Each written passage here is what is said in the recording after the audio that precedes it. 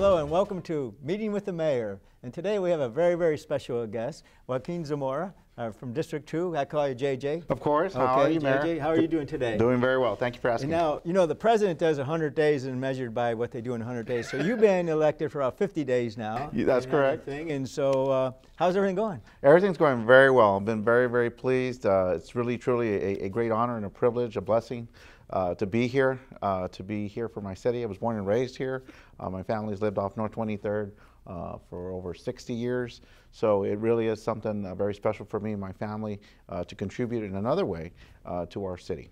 Well, great. And now, professionally, you're a lawyer. Yes, sir, I am. I'm an assistant criminal district attorney working for you, Hidalgo County, for the last 19 years, uh, both under Mr. Rene Guerra and our current dis- uh, district attorney, Ricardo Rodriguez Jr. So now district attorneys can't get involved in politics too much and, uh, Yeah, and yeah, too little. right. So this is your first political uh, office that you've held. Yes, right? as a matter of fact, this is the first election I've ever run. I never ran for student council or anything in, at the university or school, uh, law school level. So this was my first election period. And I, I remember at the polling place, I've, I think I met all your family. Yes. Great, great family. You had a whole bunch of everybody out there, and they obviously uh, enjoyed it. I Yes, they did. They had a wonderful time. They especially had a good time meeting you because to them it's a privilege to meet the mayor of McAllen. And uh, I think it was a very good election for everybody and, and trying to bring out the vote. Yes. And now, you one of the things we talk about is uh, the single member district. Since we've had it, was a concept that would be uh, the commissioner would be no more what's going on in an indiv- individual area as opposed to citywide, which is difficult.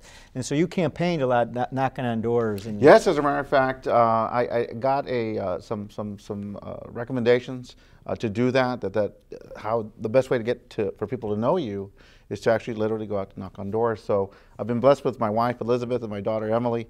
Uh, we we have estimate that we knocked about two, 2,800 to 3,000 doors in in District Two. I did that, but you know, like one third of the people would be home, and then one third would be voters. And Right.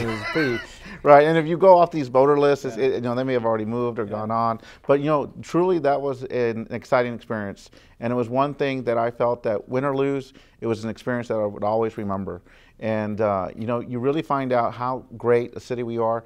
We have wonderful citizens here in McAllen. We have people offer us dinner, offer us water, you know, sit down and you know get away from the shade. If we needed sunscreen, they would offer that. I mean, we really are blessed with a wonderful city, Mayor.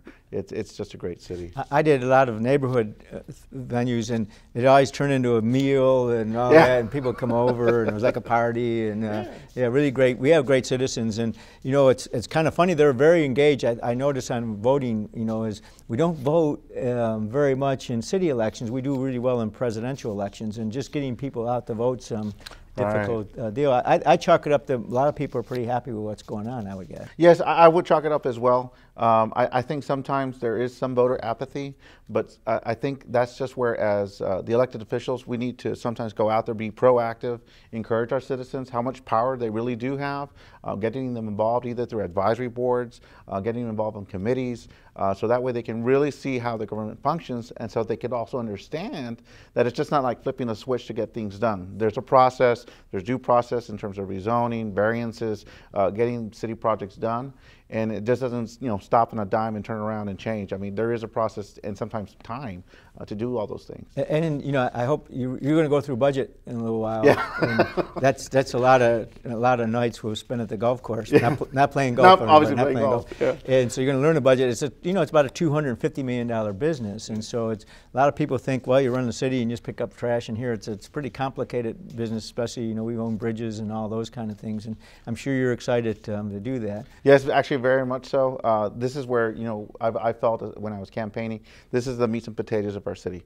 You know, our drainage, our sewer, our police, our, our fire safety, uh, streets, gutter, uh, trash collection. I mean, that's really the bare bones. Our parks, uh, but also to understand that it takes money to operate that, and more importantly, once we have a facility or an improvement, is the maintenance component. Right, and, that, and that's something we really need to concentrate. We were talking about that the other day. Now the convention center is 10 years old, and maintenance as a facility gets older, maintenance increases, and and you just can't add a park and not add a person. Exactly. to do that. So I know um, it's very interesting on uh, from a standpoint of single member district. What do you, what do you think is your mission or vision for your district? Oh, my, my vision for my district is to get more uh, voter, uh, uh, or rather citizen participation in our city.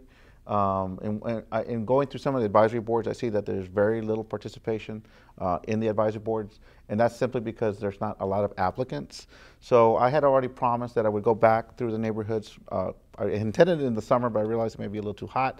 But maybe in the early fall to go back, uh, reintroduce myself, or introduce myself for the first time, and and identify community leaders. You know, get to the point where you have community leaders in the, in the neighborhoods that we have. There's about 45 neighborhoods in District Two, and have them to have the, you know I give them my personal phone number, a, a good email address, so if they hear concerns in their own neighborhood, I'm just a phone call away. I can go there that same afternoon, and you know let's talk about it. That, that's a great idea uh, because you can focus the leaders in individual neighborhoods, and then um, then you don't have to have the whole neighborhood there. You have the representative from the neighborhood. Exactly, exactly. And usually those people are involved. Uh, you know, we, we're one of the few cities that actually organizes neighborhood associations because uh, either they're expired or they never had them in the first place.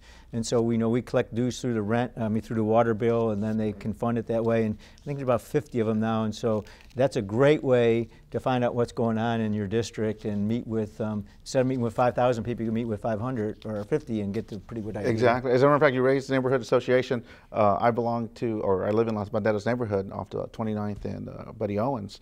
And unfortunately, our homeowners association is pretty much dissolved. It's not been active.